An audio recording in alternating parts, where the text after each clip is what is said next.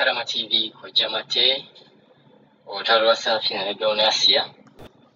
Mubadde muluwulira nga lugenda mu maaso Donna Asia avuddeyo ne yeetondera buli kadaama yenna.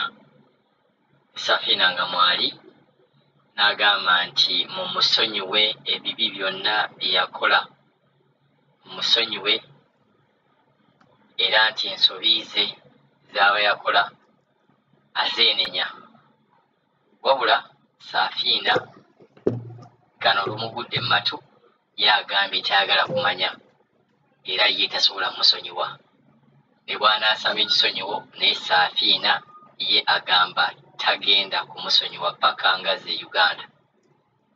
Katuwulirize z'ebimenke zaki nze sinnazikiza. Omusango oguli mu poliisi tegunnavaayo. Biri ebyokwetonda eby'abaana bange nze tebinkwata kusiba ebyatuleese ensonga eyabaddewo nti donasi yabba abaana ku basawudi be bataddemu ssente ate nga baba bateekamu ssente obbaleeta. Ye talina layisensi ekola ki? Ebaleeta. Yeyabadde ensonga yange. Oba munteeka mu bivampaya oba mugamba nina omutima omubi yessaawa tulabe ab'emitima emibi. Hey! nze ogwange nkimanyi guli pyuwa oba mwekwata ku bisubi nze nabagambye oba mwekwata ku bisubi. Ebyo mulimu katemba wammwe simanyi kaneetondere saafiina nze saafiina navuddeyo na nsonga yange njaga gavumenti egiwulirize ejja etikka omuntu emutwala era egenda mutwala ee be- ne beyavuma nabo bajja mumusanga eyo bamukwate kubanga nanti kaduuka amulinze buk- bukwaku Hmm. Oba munteeka mu vampayo oba muki munteekemu naye ngenda sigala ku mazima. Ziraba. Hmm? Nga wano wetubeera tulaaja na social media gavumenti tuyambe eba tutulugunya biki biki.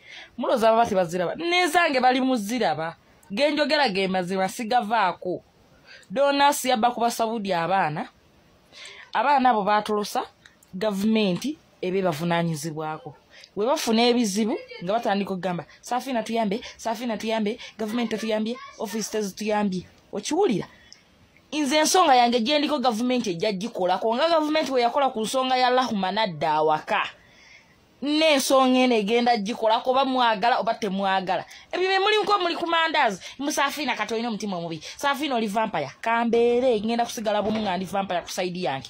Naye nga kyenjogera ge mazima donasiya bamutwale bamuzza awaka afune layisinsi akole ofiisi eyiye. Lwaki tanona baana uganda ye n'abayereetera ene saudi? Alyoka abbe ku basaudi abataddemu sente zaabwe.